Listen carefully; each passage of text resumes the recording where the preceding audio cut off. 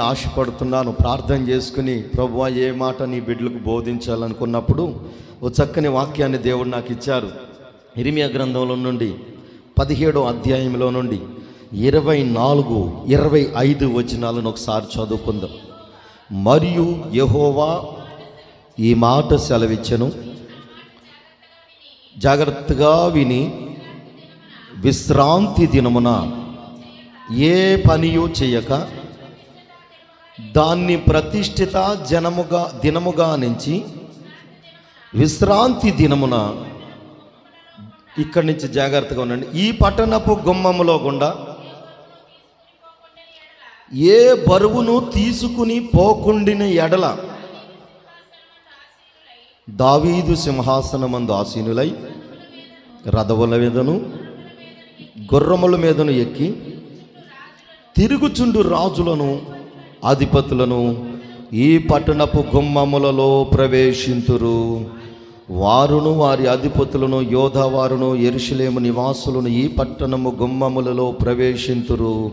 మరియు ఈ పట్టణము నిత్యము నిలుచును.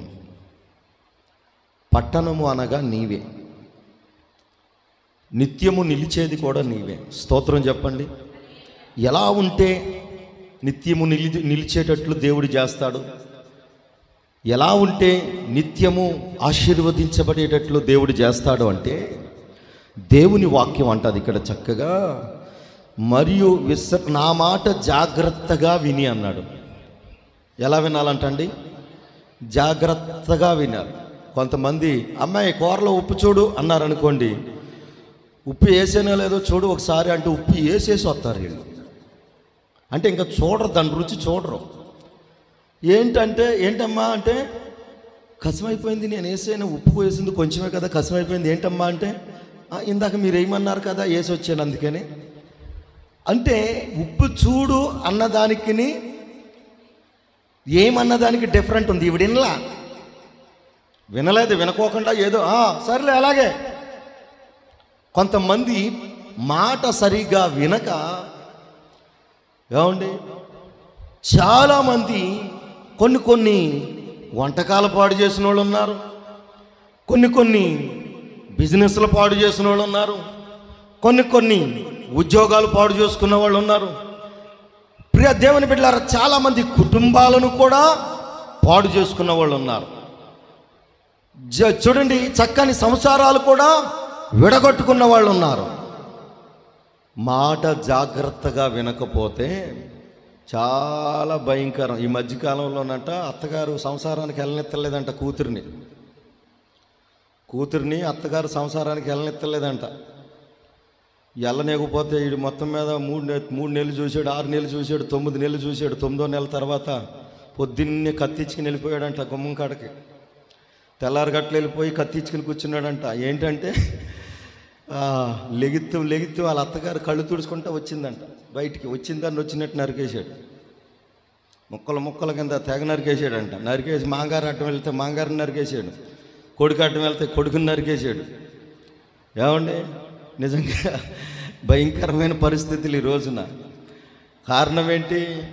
మాట వినకపోతే పరిస్థితులు తేడాగా చాలా జ- దారుణంగా ఉంటున్నాయి దినాల్లో కదా? భయంకరంగా ఉంటున్నాయి పరిస్థితులు. ఎవరు ఎట్లాంటి పరిస్థితులు ఎలా మారుతున్నారో తెలియదు ఏంటమ్మా అంటే నా మాట వింటావా? నా మాట వినకోకుండా నువ్వు ఆవిడేంటి వెళ్ళిపోతానంటుంది? ఎక్కడికి? భర్త దగ్గరికి వెళ్ళిపోతానంటుంది. ఎవరు? కూతురు మా ఇంటికి నేను వెళ్ళిపోతానంటుంది. ఈవిడ వెళ్ళనత్తల్లా నా మాట వినవా? నేను నిన్ను కన్నీ పెంచానే? పోతాయి పోవే. అని అంటే మాట వినవా? మాట వినవా? మాట వినవా? మాట వినవా అంటే ఇదే మాట చెడు మాట. సంసారాన్ని పాడు చేసుకునే మాటలు చెప్పడం వలన ప్రాణం పోగొట్టుకుంది.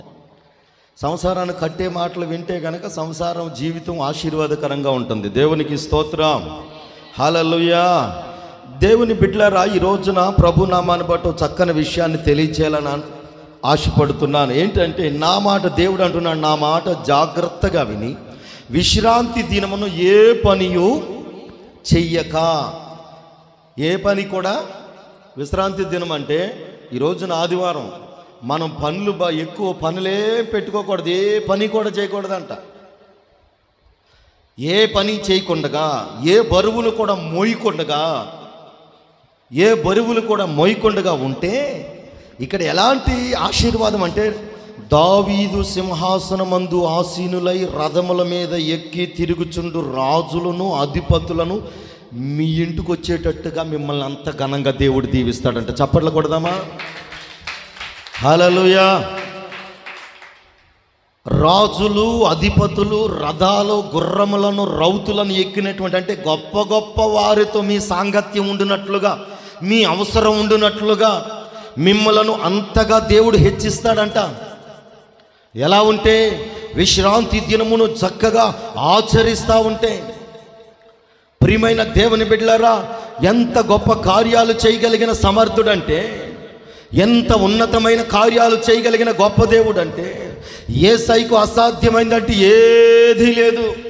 ఈ రోజున చాలామందిని హెచ్చించాలని దేవుడు వర్ధిల్లింప చేయాలని దేవుడు అనేక మంది ఎదుట గణపరచాలని ప్రతి ఒక్కరిని గూర్చి ఆశపడుతున్నాడు. కోరిక కలిగి ఉన్నాడు. దీవించాలని ఆయన తలంచుకుని ఉంటున్నాడు. కానీ ఆ దీవెన పోగొట్టుకుంటున్నారు చాలామంది. ఆ ఆశీర్వాదాన్ని పోగొట్టుకుంటున్నారు చాలామంది. ఆ యొక్క కృపను పోగొట్టుకుంటున్నారు చాలామంది. ప్రియ దేవుని బిడ్డలరా దేవుని వాక్యం ఏది నిరార్థకము కాదు. ఈ ఒక పొల్లైనను తీసేది లేదు ఒక పొల్లైన కలిపేది లేదు. ఒక పొల్లు తీసి ఒక పొల్లు ఒక మాట తీసి ఒక మాట కలిపితే వాడు బైబిల్ గ్రంథంలో ఉన్న ప్రతి శాపాలు వాడు ఇంటా ఉంటాయి అంటున్నాడు దేవుడు. బైబిల్లో ఉన్న శాపాలు దరిద్రతల వాళ్ళు ఇంటూ ఉంటాయి కానీ ఈ మాట సత్యం ఈ మాట నిజం ఈ మాట దేవుడు నా కొరకే చెప్పాడు ఈ మాట యథార్థమైనది. ఈ మాటలో జీవమున్నదని ఎవరైతే విశ్వాసం ఉంచుతారో వారు క్రమ క్రమముగా ఉంటారు చప్పర్లు కొడుతూ. ఏసైకు స్తోత్రం చెబుదాం. హాలూయా కృప కలుగును గాక. దేవునికి స్తోత్రం. చూడండి మందిరమునకు వెళుదుమన్నప్పుడు నేను ఎంతో సంతోషించానని దావిదు భక్తుడు